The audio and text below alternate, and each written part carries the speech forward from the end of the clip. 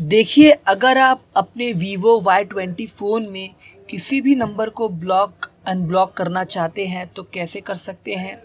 यहाँ पर मैं आपको बताऊँगा वीडियो बिल्कुल ध्यान से। देखते रहिए।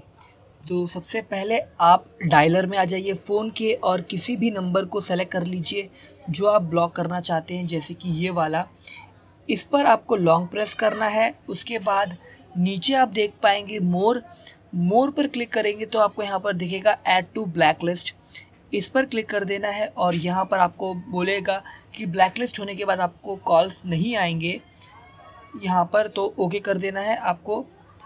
और ठीक है, इसके बाद यहाँ पर बैक करना है और उसके बाद आपको सेटिंग्स पे क्लिक करना है।